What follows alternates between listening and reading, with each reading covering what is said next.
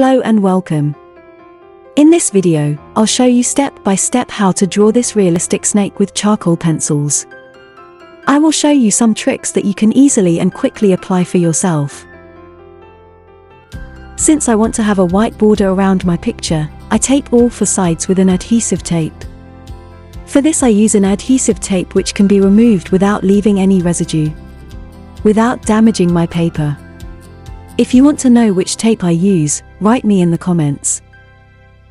Now that all sides are glued, I follow the edges again with my finger. So I make sure that there are no air bubbles. And that the adhesive tape sticks very firmly to the paper. My motive today is a snake. I have already transferred these to the paper in advance. There are several ways you can do this. If this is interesting for you and you would like to see how I do it, let me know. Maybe I'll make a separate video about it. Since the pencil lines of the drawing are too dark for me, I erase them away with an eraser.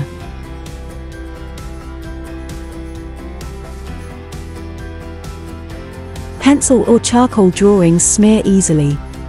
That's why I put a foil under my hand. Then I take a tool to hand with which I can press the paper. I use a double-sided puncture pen. This is available in different strengths. With this puncture pen I follow the obstructed lines. This means that the paper is pressed deeper in these places. I use a normal cardboard paper for my drawing. Basically, this technique works with any other paper as well. Only that the thicker the paper, the more beautiful the effect. If you want to try this technique but don't want to spend money, you can use an empty ballpoint pen. Just make sure that there is no more ink in the ballpoint pen. In this way I work my way through the complete drawing. First I erase the dark strokes away again. Then I follow all the eradicated lines with this dotting pin.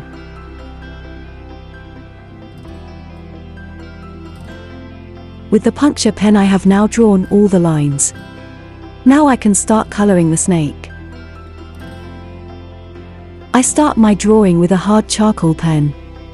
With a hard charcoal pen, the black is the brightest. The softer the pen, the darker it becomes black. There are different degrees of hardness of charcoal pins. Hard, medium and soft. The black tones of the individual producers are also different. You see, I only press the paper very slightly with the charcoal pen. It is not so important whether all places are hatched exactly or remain white. I have a little tip for you. If you hold your pen further back while painting, your hand will work out of your wrist. This is not so stressful for your hand and goes less on the joints. Now that everything is roughly painted, I apply a little more coal in some places. This is how I define light and darker places in my drawing.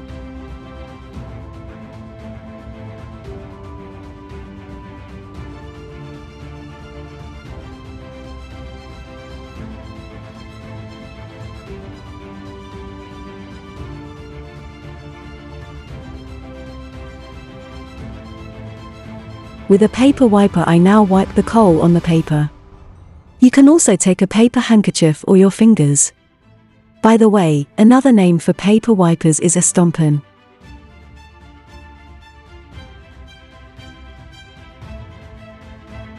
Since I want to make my background black later, I don't have to pay so much attention to whether I swipe beyond the snake into the background.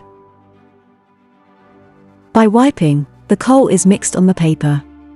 However, the places where we have previously carved with the puncture pen remain white. I work out the mouth of the snake a little. Then I set more shadows and accents.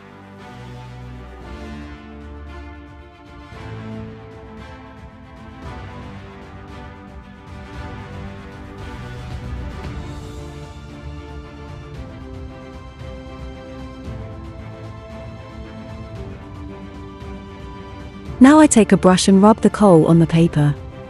Since my cardboard paper has a very light grain size and structure, the charcoal adheres differently to the paper.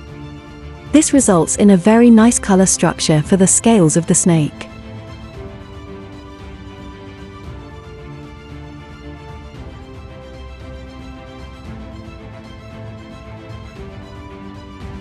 Since I want my snake to be a little darker, I apply coal again, which I then wipe again later. This process can be repeated as often as desired.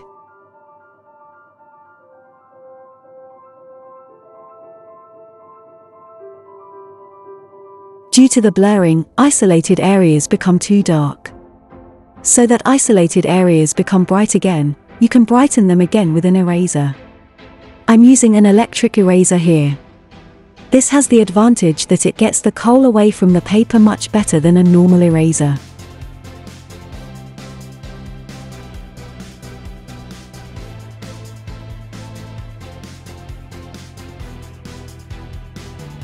If you have not yet had any experience with electric erasers, these are available with different eraser thicknesses. Slightly thicker and very fine. The finer and thinner the eraser, the more precisely you can remove the paint from the paper. With the cheap electric erasers, you have to hold down the button while you are erasing. This takes some getting used to at the beginning,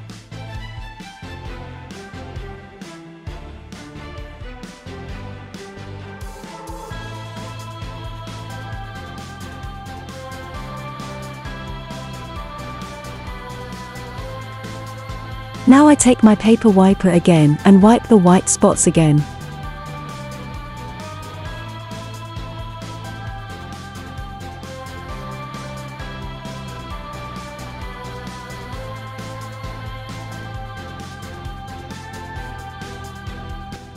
This process can be repeated as often as desired. Lighten a little and then blur again.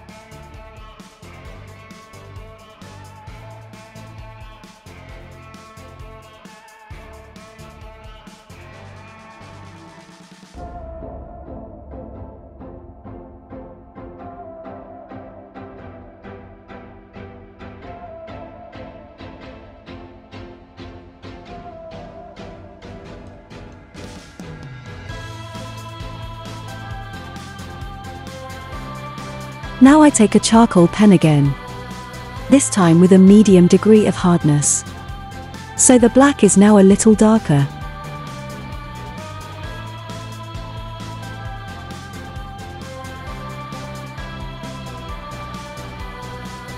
I wipe everything with a paper wiper.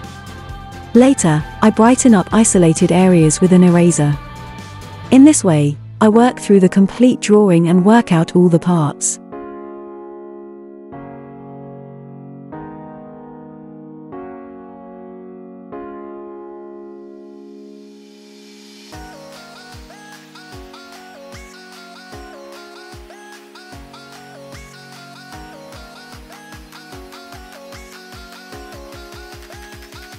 Basically, this process is the whole secret to making a drawing appear three-dimensional.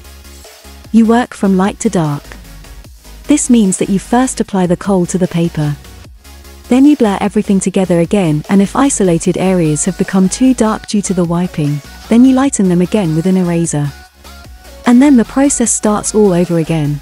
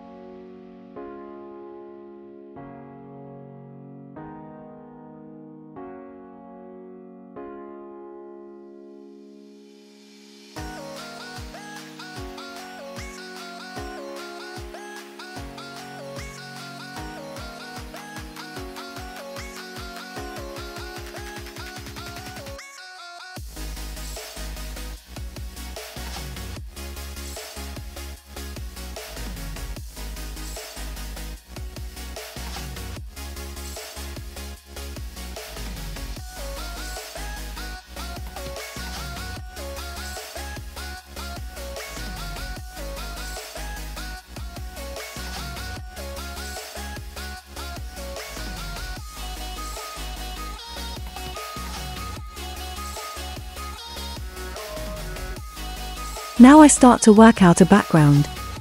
I surround the snake with a charcoal pencil. Then I hatch the entire background with a soft charcoal pen.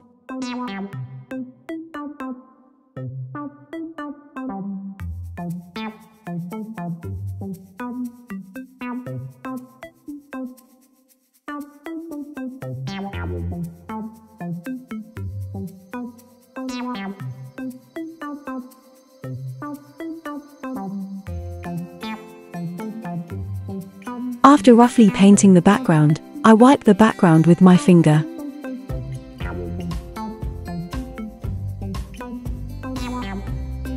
You can see that by rubbing the background is now a bit blacker. Nevertheless, many white dots remain. So after I have rubbed the whole background, I paint a second time with the black charcoal pen over the background and then rub the coal a second time. This makes the background really pitch black. I finished the background. Now I'm starting to paint more contrasts into the snake. I do that until I come to a result that I like.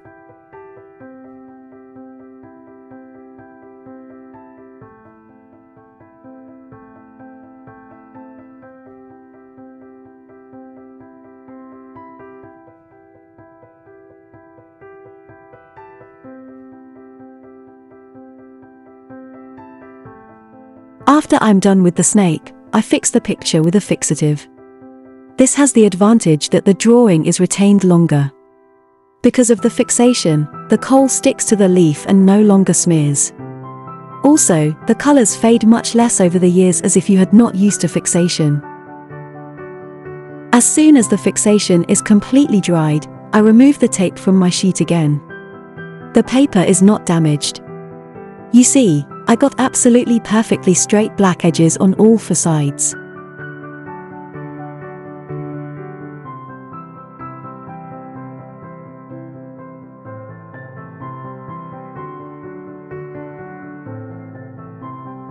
Finally, I take a white gel pencil and paint a few smaller light effects into my drawing.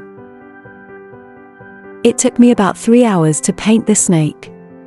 But then there are well over 10 hours for the editing of the video, as well as the scoring and the caption. So if you liked my video, I would be very happy if you reward my work with a thumbs up and leave me a subscription. So you help me to be found better on YouTube and I remain motivated to continue to finish many videos for you.